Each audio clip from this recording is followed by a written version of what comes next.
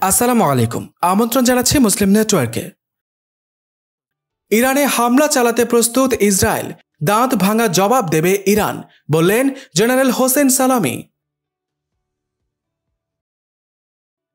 এদিকে যুদ্ধের আশঙ্কা, রকেট হামলার জবাবে লেবাননে বিমান হামলা ইসরায়েলের।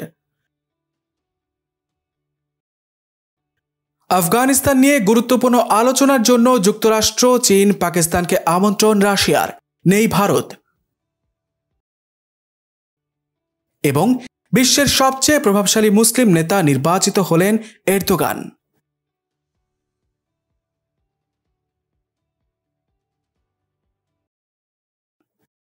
ইসরায়েলের প্রতিরক্ষা মন্ত্রী বেনি গ্যান্টোস বলেছেন, তার দেশের সেনাবাহিনী ইরানে হামলা চালানোর জন্য প্রস্তুত। এর আগে ইসরায়েলের প্রধানমন্ত্রী নাফতালি বেনেট ইরানকে দেখে নেওয়ার হুমকি দেন। এদিকে হামলা চালানো হলে দাঁত ভাঙা জবাব দেয়া হবে বলে হুঁশিয়ারি দিয়েছে ইরান। আজাজিরার খবরে বলা হয়েছে, ইসরায়েল এমন এক সময় এই হুমকি দিচ্ছে যখন ইরানের সঙ্গে তাদের চরম উত্তেজনা বিরাজ করছে। বৃহস্পতিবার ইসরায়েলের প্রতিরক্ষা মন্ত্রী বেনি গ্যান্টোসকে স্থানীয় এক গণমাধ্যম প্রশ্ন করেন, ইরানে হামলার জন্য ইসরায়েল প্রস্তুত কিনা? জবাবে মন্ত্রী বলেন হ্যাঁ প্রস্তুত। ইসরায়েল একাধিক ফ্রন্টে যুদ্ধের জন্য প্রস্তুত, যেখানে ইরানকে সংশ্লিষ্ট করা হবে। এ সময় ইরানকে বৈশ্বিক এবং আঞ্চলিক সমস্যা হিসেবে অভিহিত করেন তিনি। ইসরায়েলের এই প্রতিরক্ষা মন্ত্রী বলেন, ভবিষ্যতে একাধিক ফ্রন্টে যুদ্ধ করার তাদের সক্ষমতা বৃদ্ধি করা প্রয়োজন। এর আগে গত বৃহস্পতিবার আরব উপসাগরের ওমান উপকূলে ইসরায়েলের একটি ব্যবসায়িক জাহাজে ড্রোন হামলা হয়। এতে জাহাজটি দুইজন ক্রু নিহত হন, তাদের একজন ব্রিটিশ নাগরিক ও অন্যজন রোমানিয়ার। ঘটনার পর থেকে চিরশত্রু ইরান ও ইসরায়েলের মধ্যে চরম উত্তেজনা বিরাজ করছে। যুক্তরাষ্ট্রসহ পশ্চিমা বিশ্ব ধারণা করছে ইরান অত্যাধুনিক ড্রোন ব্যবহার করে এই হামলা করেছে। তবে ইরান এই অভিযোগ সম্পূর্ণ অস্বীকার করে বলছে, তাদের ফাঁসাতে ইসরায়েল হামলার নাটক সাজিয়েছে। প্রতিরক্ষা নীতিতে শত্রুদের যে কোনো হঠকারী পদক্ষেপের তাৎক্ষণিক গুরুতর ও শক্তিশালী জবাব দেওয়া হবে বলে হুঁশিয়ার করেছেন ইরানের বিপ্লবী গার্ড বাহিনী বা আইআরজিসির প্রধান কমান্ডার মেজর জেনারেল হোসেন সালামি। বুধবার পারস্য উপসাগরের হরমুজ প্রণালীতে মোতায়েন আইআরজিসির নৌসেনাদের যুদ্ধ প্রস্তুতি পরিদর্শনের পর এ সতর্কবাণী উচ্চারণ করেন তিনি। ইসরায়েলের প্রতি ইঙ্গিত করে জেনারেল হোসেন সালামি বলেন, ইরানকে হুমকি দিয়ে যারা কথা বলছে, বিশেষ করে দখলদার ইসরায়েলের জেনে রাখা উচিত যে কোনো স্থানে যে কোনো মাত্রার হামলার দাঁত ভাঙা জবাব দিতে তেহরান প্রস্তুত রয়েছে। তিনি আরও বলেন, ইরানের স্বার্থে আঘাত হানা হবে, অথচ তেহরান তার জবাব দেবে না, এমন দিনের অবসান হয়েছে। ইরানের শত্রুরা যেন আর কোনোদিন সেই দিনগুলো ফিরে আসার স্বপ্নে বিভোর না হয়।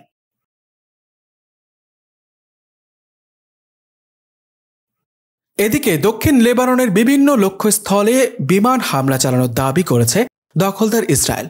লেবানন থেকে রকেট হামলার জবাবে এই হামলা চালানো হয়েছে বলে জানিয়েছে ইসরায়েলের সামরিক বাহিনী। বৃহস্পতিবার ভোররাতে এসব বিমান হামলা চালিয়েছিল ইসরায়েলি বাহিনী। বার্তা সংস্থা রয়টার্স জানিয়েছে এর আগে বুধবার লেবানন থেকে বেশ কয়েকটি রকেট ছোড়া হয় ইসরায়েলের অভ্যন্তরে। এর জবাবে কামানের গোলা বর্ষণ করেছিল তেল আবিব। এবার বিমান হামলাও চালালো ইসরায়েল। তবে এই বিমান হামলায় কোনো হতাহত কিংবা ক্ষয়ক্ষতির ঘটনা ঘটেছে কিনা তা জানায়নি কোনো পক্ষই। ওমান উপসাগরে গত সপ্তাহে ইসরায়েলের একটি অয়েল ট্যাঙ্কারে হামলার ঘটনা ঘটে। এতে দুইজন নিহত হওয়ার ঘটনা নিয়ে মধ্যপ্রাচ্য জুড়ে বিরাজ করছে উত্তেজনা। ইসরায়েল যুক্তরাষ্ট্র ও যুক্তরাজ্য ওই হামলার জন্য ইরানকে দায়ী করেছে, তবে ইরান তাদের দাবি প্রত্যাখ্যান করেছে। রয়টার্স বলছে, হামলার দায় কেউ স্বীকার না করলেও বুধবার লেবাননের দক্ষিণাঞ্চলে যে স্থানগুলো থেকে ইসরায়েলের অভ্যন্তরে রকেট হামলা চালানো হয়, সেগুলো ইরান সমর্থিত হিজবুল্লাহ গেরিলাদের নিয়ন্ত্রণে। ওই রকেট হামলায় কোনো হতাহতের ঘটনা ঘটেনি বলে জানিয়েছে ইসরায়েল। ইসরায়েলের বিমান হামলার সত্যতা নিশ্চিত করেছে হিজবুল্লার আল মানা টেলিভিশন। তারা জানিয়েছে, ইসরায়েলি সীমান্ত থেকে প্রায় বারো কিলোমিটার দূরে লেবাননের মাহমুদিয়া শহরের প্রান্তীয় দুটি স্থানে এই বিমান হামলা চালানো হয়। উল্লেখ্য হিজবুল্লার সঙ্গে দুই সালে যুদ্ধে জড়ায় ইসরায়েল। তবে ওই যুদ্ধের পর থেকে দুই দেশের সীমান্তে মোটামুটি শান্ত পরিস্থিতি বিরাজ করছিল। কিন্তু সাম্প্রতিক সময় লেবানন ও ইসরায়েলে সীমান্তে নতুন করে উত্তেজনা দেখা দিয়েছে। অপরদিকে আফগানিস্তান নিয়ে গুরুত্বপূর্ণ আলোচনার জন্য বেশ কিছু দেশকে আমন্ত্রণ জানিয়েছে রাশিয়া। পাকিস্তান, চীন এবং যুক্তরাষ্ট্রকে নিয়ে রাশিয়ার এই আলোচনা হবে বলে আশা করা হচ্ছে। তবে ভারতকে আমন্ত্রণ জানানো হয়নি। এই ঘটনার সঙ্গে সম্পৃক্ত লোকজন বিভিন্ন গণমাধ্যমকে বিষয়টি নিশ্চিত করেছেন। আফগানিস্তানের বিভিন্ন অঞ্চল দখলে নিতে দেশটির সেনাবাহিনীর সঙ্গে তালেবানের তীব্র সংঘাত চলছে। ইতিমধ্যে আফগানিস্তানের বহু এলাকার দখল নিয়েছে তালেবান।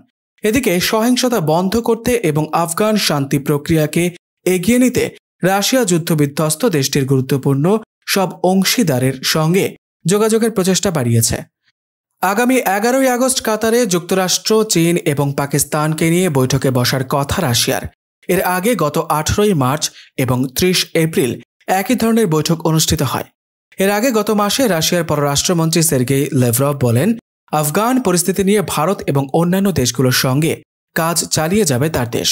তার এমন বক্তব্য থেকে এটা ধারণা করা হয়েছিল যে সামনের বৈঠকগুলোতে ভারত অন্তর্ভুক্ত থাকবে। কিন্তু হঠাৎ করেই ভারতকে কেন বাদ দেওয়া হলো সে বিষয়টি এখনও পরিষ্কার নয়। সে সময় তিনি সাংবাদিকদের উদ্দেশ্যে বলেন, আফগানিস্তানের পরিস্থিতি নিয়ে প্রভাব ফেলতে পারে এমন দেশ যেমন কেন্দ্রীয় এশিয়ায় আমাদের অংশীদারী দেশসমূহ, ভারত, ইরান এবং যুক্তরাষ্ট্রের সঙ্গে কাজ করে যাব। তিনি বলেন, মস্কো ফরমেটে আমরা প্রধান দেশগুলোকে অন্তর্ভুক্ত করব। রাশিয়ার আমন্ত্রণ না পাওয়ার বিষয়ে ভারতের পক্ষ থেকে এখনও কিছু বলা হয়নি। তবে জাতিসংঘের নিরাপত্তা পরিষদে ছয়ই আগস্ট আফগান পরিস্থিতি নিয়ে আলোচনা হবে। এই বৈঠককে ইতিবাচক উন্নয়ন বলে উল্লেখ করেছেন ভারতে নিযুক্ত আফগান রাষ্ট্রদূত ফরিদ মামুনজাই। গত কয়েক সপ্তাহে আফগানিস্তানের উত্তর পূর্বাঞ্চলীয় তাখার সহ বেশ কিছু জেলা দখল করে নিয়েছে তালেবান। এখন পর্যন্ত দেশটির দুইশো তেইশটি জেলা তালেবানের দখলে চলে গেছে। অপরদিকে আটষট্টি জেলার দখল এখনও সরকারি বাহিনীর হাতে রয়েছে।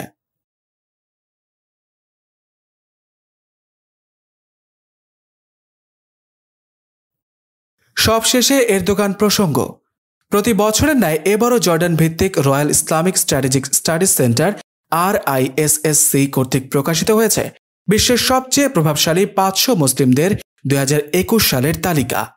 এই তালিকার শীর্ষ অবস্থানে রয়েছেন মুসলিম বিশ্বের প্রভাবশালী নেতা ও তুরস্কের প্রেসিডেন্ট রজব তাইয়েব এরদোগান। এই তালিকায় উইঘুরের নির্যাতিত মুসলিমদের পক্ষে লড়াই করে যাওয়া চীনের সেন্ট্রাল মিনজু বিশ্ববিদ্যালয়ের অর্থনীতির অধ্যাপক Ilham Tohti man of the year ও বিরাশি বছর বয়সী ভারতীয় প্রবীণ নারী Bilkis Bano women of the year হিসেবে বিবেচিত হয়েছেন।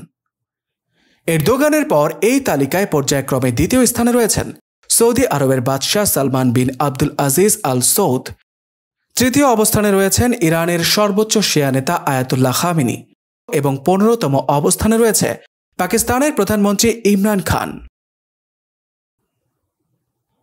আজ এখানেই শেষ করছি। সমরাষ্ট্র প্রতিরক্ষা ও কূটনীতির নানান তথ্য জানতে চোখ রাখুন মুসলিম নেটওয়ার্কে।